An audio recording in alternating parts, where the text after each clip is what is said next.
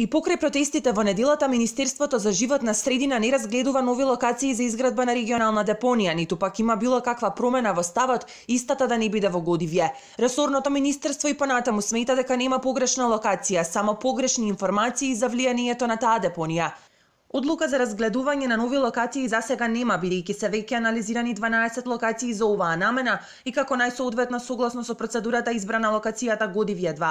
Дополнителни анализи би барале дополнителни финансиски средства кои општините во овој регион ги немаат на располагање. Владата за сите овие проекти обезбеди 1 милион евра само за овој регион преку ИПА програмата. И додека се кршат копија меѓу дебрчани институциите, Обштина Струга дава подршка за Годивје како најсоодветна локација за депонија, која би била изградена според највисоки стандарди, додека соседната Обштина Охрид пак е за корекција на студијата.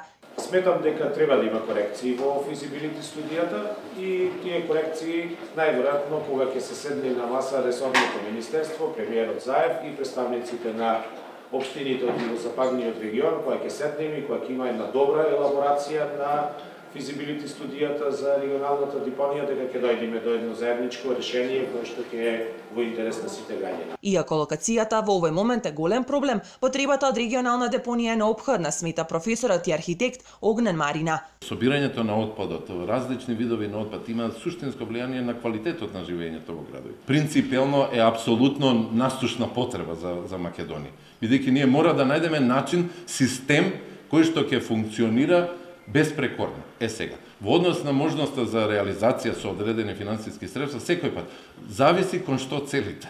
Од ресорното министерство потенцираат и дека секоја одлука за изградба на било каков објект, инсталација или депонија ќе биде строго контролиран процес и во согласно со законодавството. Целта како што велат изградба на безбедна регионална депонија согласно сите европски стандарди, која нема да загрозува животната средина и дополнително ќе донесе социјален и економски бенефит за граѓаните.